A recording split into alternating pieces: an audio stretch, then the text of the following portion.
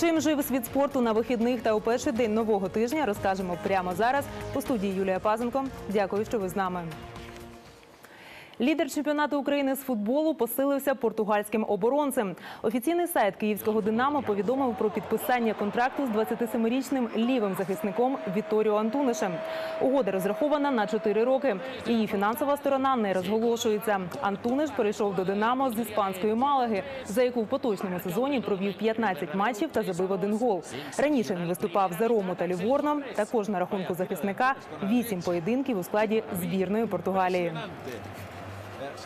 Я починаю новий етап своїй кар'єрі, до якої буду ставитись, як завжди, з величезним професіоналізмом. Хочу подякувати всім у Малазі, де я був щасливий протягом проведених там двох років. Шахтар розпрощався з володарем Кубка УЄФА та шестиразовим чемпіоном України. Статус вільного агента отримав захисник донечан Дмитро Чигринський. Тим часом металіст залишив аргентинський оборонець Крістіан Вільягра, який грав за харків'ян з 2010 року. Ймовірним місцем продовження кар'єри Чигринського є Дніпро. Вільягру чекають на батьківщині в клубі Росаріо Сентраль. Футболісти Шахтаря провели перший товариський матч на зборі в Іспанії. Чемпіон України зіграв нічию з чемпіоном Хорватії Динамо Загреб 1-1. За гірників відзначився Адріано. З таким же рахунком завершився поєдинок Дніпра проти володаря Кубка Румунії клубу Астра. В складі Дніпропетровців забив Селезньов. Без голів пройшов спаринг металіста та чеської команди Шибрам. Два золота здобули українські шаблістки на етапі Кубка світу з фехтування в Афінах. Лідер збірної Ольга Харлан стала переможницею індивідуальних змагань, здолавши у фіналі принципову суперницю росіянку Софію Вілікою. Згодом разом з Аліною Комащук, Оленою Кравацькою та Ольгою Жовнір Харлан тріумфувала і в командному турнірі. У вирішальній сутерці українки завдали поразки збірній Росії. Причому зробили це більш ніж впевнено 45 на 35. На самом деле это вот э, сейчас это хорошо, как бы, что мы выиграли и все.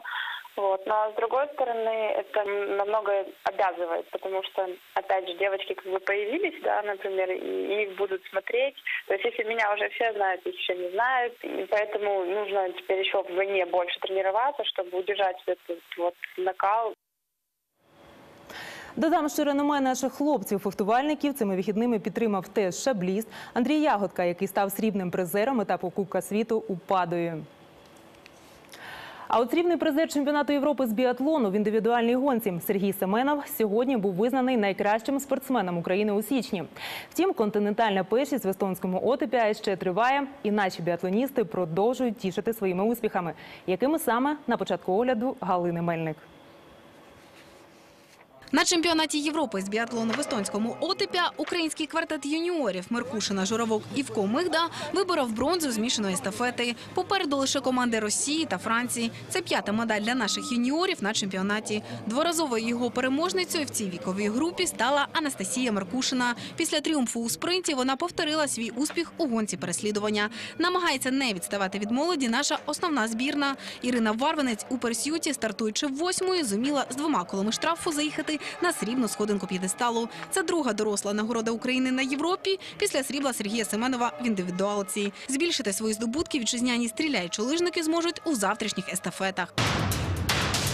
А ось паралімпійська збірна України з біатлону і лижних гонок вже завершила свої виступи на чемпіонаті світу в американському кейблі. В останній день змагань наші спортсмени здобули срібло у відкритій естафеті і бронзу у змішаній. У підсумковому медальному заліку Україна посіла друге загальнокомандне місце. У нашої збірної 30 нагород, серед яких 9 золотих. Тріумфальний чемпіонат став для біатлоністки Олександри Кононової. Українка встановила світовий рекорд, завоювавши 6 золотих і одну срібну медалі.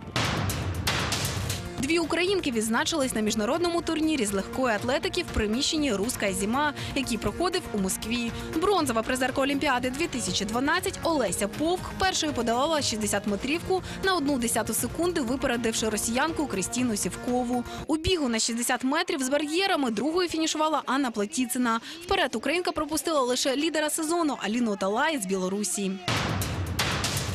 Дві нагороди вибороли і наші борці вільного стилю. На гран-прі Парижа золото у ваговій категорії 125 кілограмів завоював Олександр Хоцянівський. У фіналі українець здолав азербайджанця Джамалуддіна Магомєдова. Також бронза у нашого Павла Олійника, категорія 97 кілограмів. У розпалі вітчизняний баскетбольний сезон. В Кубку України сьогодні визначаються останні півфіналісти. Як столичний будівельник намагався потішити красивою грою у поєдинку проти запорізького феро, бачив Вадим Шевякін. Тренування з підвищеною відповідальністю. Це коротко про матч, що сьогодні відбувся на майданчику столичного палацу спорту. У Запоріжжі будівельник просто познущався над суперником, закинувши 111 очок. Ферош не дотягнув навіть до 70. Про інтригу у двоматчевому протистоянні не йшлося, проте видовище ніхто не відміняв. Зрители приходят посмотреть на зрелищный баскетбол, и счет позволял это. И в некоторых ситуациях, конечно, мы пытались сыграть как-то покрасивее. М, Ошибались, конечно. Ну, ничего страшного, я думаю, У Максима Івшина слем-данк вийшов, у Михайла Анісімова ні. Але нічого, Анісімов своє візьме кропіткою роботою і оформить дабл-дабл. 17 очок і 12 підбирань. Якщо результат по сумі двох ігор не викликав сумнівів після першої зустрічі, то сьогодні все стало зрозуміло вже після першої чверті. 28-14 за тотальної переваги киян. Была задача на игру не пропустить 6 очков. Вот. Ну и да, мы всю неделю наигрывали больше комбинаций, которые нам пригодятся в будущем. Не только для этой игры конкретно. задача только выиграть кубок и выиграть чемпионат. То есть мы к этой цели идем по, по, по ступеням, и я думаю, что мы, мы сделаем это. А що Ферро? Ферро, наскільки могло, награвало якісь свої схеми. Вони ой як знадобляться запорізцям. Щоправда, тепер вже тільки у суперлізі. До речі, як і говорив Максим Постозвонов про завдання на матч, 60 очок кияни не пропустили. Підсумковий рахунок 90 на 55. Будівельник крокує до фіналу чотирьох. Раніше до півфіналу баскетбольного кубка України пробилися Хімік та Дніпро. Останній же півфіналіст турніру визначиться за підсумками сьогоднішнього матчу відповіді між БК Київ та представником вищої ліги столичним авангардом. Гра в ці хвилини триває. Перший поєдинок команд завершився перемогою Києва з різницею в 4 очки. Фінал чотирьох Кубка України відбудеться 6-7 березня у Київському палаці спорту. Жіноча тенісна збірна України сьогодні у Будапешті випробувала корти, на яких, починаючи з середи, вестиме боротьбу за путівку до плей-офф другої світової групи Кубка Федерації. Наша четвірка у складі Еліни Світоліної, Лесі Цуренко, Катерини Козлової та Ольги Савчук на груповому етапі змагатиметься зі збірними Туреччини, Ліхтенштейна та другою командою Великобританії. Від сьогодні в ефірі першого національного дивіться щоденники, присвячені виступу українок на цьому турнірі. Дебютний дайджест одразу після нашої програми. Переможний приклад дівчатам сьогодні подав Сергій Стаховський. Друга ракетка України вдало стартував на турнірі ATP у Загребі, який вигравав ще у далекому 2008 році. Здолавши у першому колі номінального господаря змагань Хорвата Борну Чорича 6-2-6-4, тепер Сергій очікує на свого наступного суперника, який визначиться у протистоянні росіянина Міхаїла Южнова та словенця Блажа Кавчича. Завтра матч стартового кола у Загребі проведе і наш Ілля Марченко, котрому протистоятиме серб Віктор Троїцький. А от чоловічий тенісний Бомонт нині переводить подих після баталії на Australian Open. Повне право почувати на лаврах має лідер світового рейтингу Новак Джокович, який цьогорічною перемогою на турнірі записав себе до когорти рекордсменів. Більше про це і інші найцікавіші міжнародні події розкаже Євгеній Каранов. За право стати першим в історії п'ятиразовим переможцем Australian Open Новаку Джоковичу довелося повоювати. Тенісна надія Британії Енді Марей, котрий до цього програв на зеленому континенті усі три свої фінали, віддавати четвертий не бажав. У перших двох партіях, які затягнулися більше ніж на три години, суперники нічим один одного не поступалися. Кожен відібрав по дві подачі суперника і сильнішого визначив тайбрейк.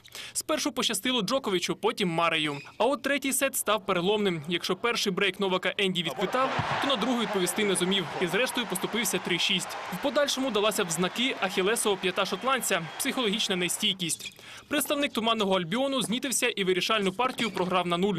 Що, до речі, у фіналах Australian Open сталося вперше. Відтак 7-6, 6-7, 6-3, 6-0 на користь Джоковича, який виграв свій п'ятий фінал відкритої першості Австралії і восьмий на турнірах серії Великого Шолому загалом. Програш на нуль у четвертому сеті не засмутив мене. Я був розчарований поразкою у третій партії, від якої так і не зміг отямитися. Мені потрібно переглянути цю партію і зробити висновок. Це я так погано грав, або ж Джокович зіграв ідеально. У матчі було багато переломних моментів. Всі, хто говорив, що буде велика битва, не помилилися. Перед поєдинком ми з Енді мали рівні шанси на перемогу незалежно від титулів, які були у нас до цього. Нагадаємо, що у жінок переможницею стала американка Сирена Вільямс. У фіналі змагань лідер світового рейтингу здолала другу ракетку світу росіянку Марію Шарапову 6-3, 7-6 і виграла свій 19-й трофей серії Гренслем. Слем. Легендарний Т'єрі Ом'є визнаний найбільш цінним гравцем чемпіонату світу з гандболу, що проходив у Катарі. 38-річний французький голкіпер допоміг своїй збірній виграти турнір. Для Ом'є це вже четверте золото світових чемпіонатів. У фіналі французи перемогли сенсаційну збірну Катару 25-22. В матчі за бронзу Польща в овертаймі завдала поразки екс-чемпіону іспанцям 29-28. На зеленому континенті продовжують святкувати перемогу своєю футбольною збірною на Кубку Азії. Цей трофей австралійці здобули вперше. Непогано як для команди, що лише в третій раз взяла участь у розіграші. Австралія приєдналася до Азіатської конфедерації у 2006 році, залишивши занадто слабку для себе Океанію. У фіналі Кубка Азії 2015 Сокерус, забивши вирішальний гол в додатковий час, перемогли збірну Південної Кореї 2-1. На футбольному Кубку Африки в екваторіальній Гвінеї визначилися півфіналісти. Напередодні збірна Кот-Дівуару в одній четвертій переграла збірну Алжиру 3-1. А чотириразовий переможець Кубка Африки збірна Ганни завдала розгромної поразки збірній Гвінеї 3-0. На півфінальній стадії Кот-Дівуарці в середу зустрінуться з командою динамівця Дімірсім Бокані збірної Демократичної Республіки Конго. Ганна в четвер зіграє з екваторіальною Гвінеєю. Фіналом у парному катанні закінчився чемпіонат Європи з фігурного катання у Стокгольмі. Суперечка за чемпіонство точилася між російськими парами. Переможцем вийшов дует Юку Кавагуті Олександр Смірнов. Україна у цій дисципліні представництва не мала. Найкращим результатом наших фігуристів на чемпіонаті стало 11-те місце танцювальної пари Олександри Назарова та Максима Нікітіна. В чоловічому одиночному катанні наш Ярослав Паніот 16-й. На цьому ж місці, але серед жінок українка Наталія Попова. На цьому прощаюся до завтра і нагадую, що прямо зараз на нашому каналі перший випуск щоденника тенісного Кубка Федерації. Шануйте спорт і залучайте до активного способу життя рідних, близьких та знайомих. І тоді ми всі будемо у виграші. До зустрічі!